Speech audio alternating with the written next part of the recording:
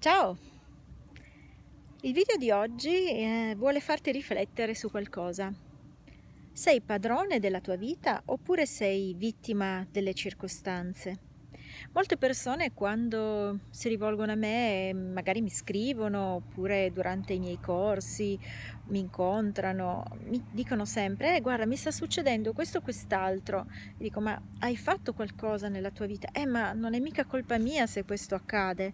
Eh, magari hanno dei problemi a livello lavorativo, a livello familiare qualsiasi sia la situazione, mh, mm, si presentano un po' come se fossero le vittime, no? E magari è capitato anche a te, è abbastanza umano. Come puoi tu ribaltare questa situazione? Come puoi cominciare a trarre spunto da tutto quello che accade nella tua vita per farlo diventare qualcosa che gioca a tuo favore? Ti spiego questo.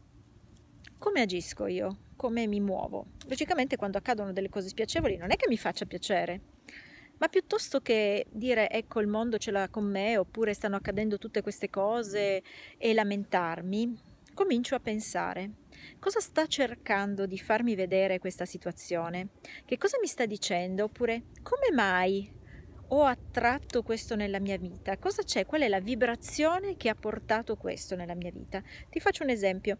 Eh, l'altro giorno sono, mm, ho ricevuto tre multe, totale 300 euro.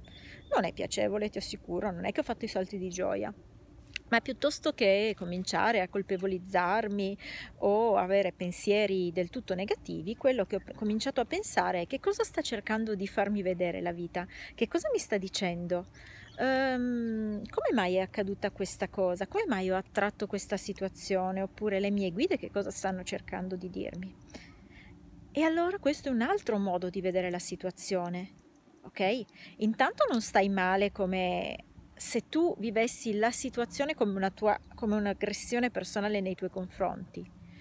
Quando invece la vita, con tutto quello che fa, tutto quello che fa accadere nella tua esistenza, anche a volte purtroppo ci sono delle situazioni che ovviamente non si possono paragonare a quelle delle multe, ci sono delle situazioni ben più gravi e ben più drammatiche, ma in ogni modo la vita, le tue guide, tutti gli esseri di luce che ti circondano stanno cercando di farti...